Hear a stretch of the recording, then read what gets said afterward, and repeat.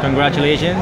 Thank you. You just won the uh, WCQ Brooklyn November 8, 2015. Uh, you went 8 and 0. 8 and 0, yep.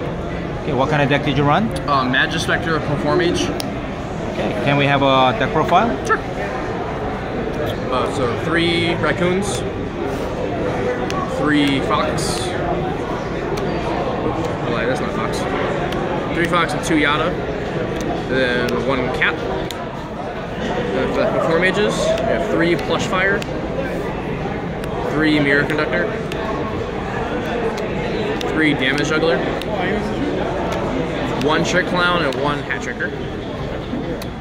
And three Luster Pendulum Draco Slayers, two Archfiend Eccentric, and then three Maxis as the last of the monsters.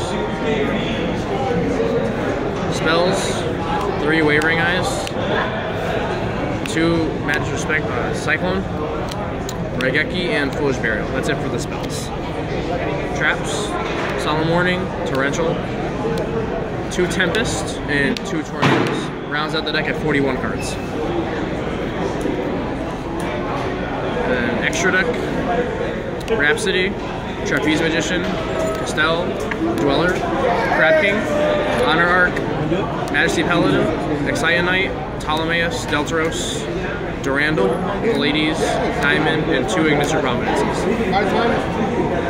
Side deck, Humanity's Emptiness, three copies of Pure Iron Wall, three Mind Crush, three Retaliating Sea, two Dark Holes, and three Mystical Space Echoes. Rounds out the deck. All right, great. Uh, you want to give any shout outs? Yeah, I do actually. Uh, Mike Zamiti, Mike Zamiti, um, and Vinny Silverman for letting me borrow everything for the tournament. And then uh, Rich DeVint from Florida, one of my good friends, so I'll shout out to him. He uh, gave me the deck list to play for the tournament. He showed me what he was playing in. I just basically played his deck with a couple choices of my own and just played it. That's about it. Okay. Did you uh, travel far to get here? No, I live in Connecticut, so I, Oh. it was about an hour and 20 minutes roughly, hour and a half. Not too long.